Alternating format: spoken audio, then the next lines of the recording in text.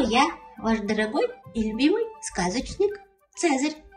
Сегодня сказочка называется очередная «Бегемотик Бу-би-бу».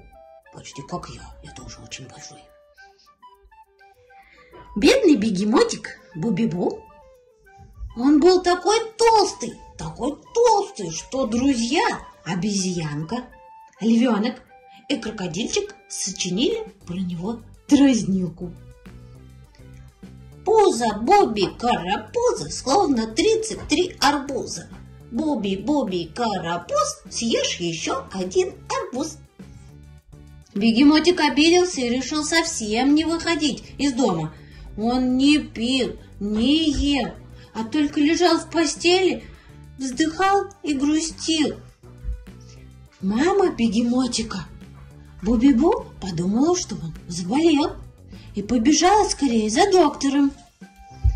Доктор-попугай был очень-очень мудрый. Он осмотрел бегемотика.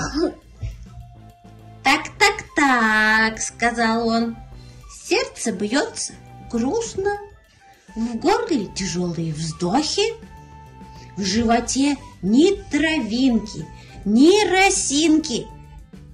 Сила пропала, температура упала, дело плохо. «Ах!» – в отчаянии вскликнула мама. «Доктор-попугай, спасите моего сыночка!» «Сейчас», – ответил попугай.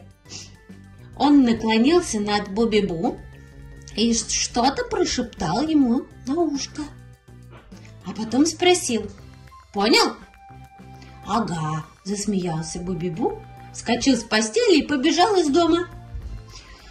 «Ах!» – теперь с восхищением воскликнула мама бегемотиха.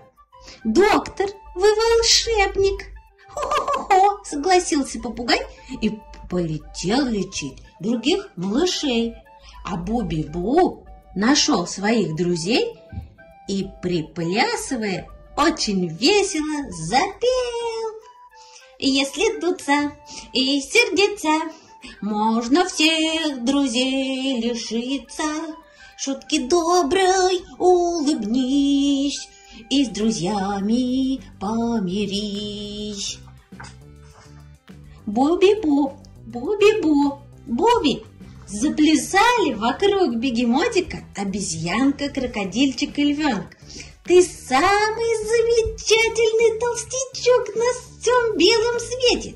Мы не хотели тебя обидеть. Мы тебя очень-очень любим. А доктор-попугай, который наблюдал за бегемотиком, сказал, сердце бьется ровно, весело, в горле тру-ля-ля, Силы хоть отбавляй, а в пузе, пузе-то ничего. Скоро обед, и в пузе снова будет 33 арбуза. Ребенок здоров!